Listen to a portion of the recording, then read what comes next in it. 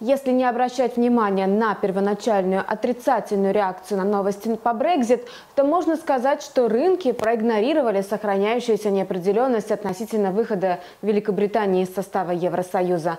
На настроение трейдеров влияли другие события. Ранее сегодня Народный банк Китая прокомментировал ситуацию относительно замедления темпов роста экономики, заявив о том, что эти рассуждения беспочвены – Однако Кристин Лагард, бывшая глава МВФ и будущий председатель правления ЕЦБ, все же крайне взволнована вопросом мировой торговли. Впрочем, как и финансисты, озвучившие свое мнение в ходе совещания Всемирного банка и Международного валютного фонда, которые состоялись в минувшие выходные.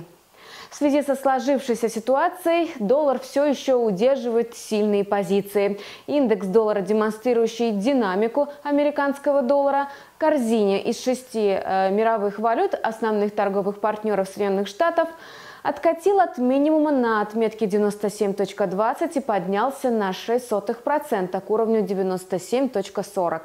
В первый торговый день недели пара доллар-иена поднялась над отметкой 108.50. Откатом в район 108.30 паре удалось завершить трехдневное снижение. Главным фактором роста стало снижение иены на фоне тяги к риску. Эта причина послужила и росту доходности трежерис, оказав поддержку доллару. Пара отступила приблизительно приблизительно на 20-25 пунктов от минимумов недели, которые были отмечены в ходе сегодняшних э, утренних торгов.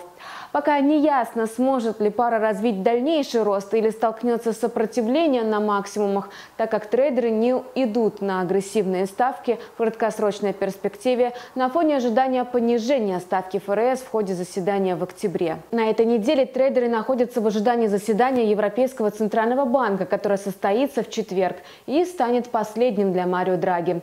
Федеральная резервная система проведет заседание 29-30 октября.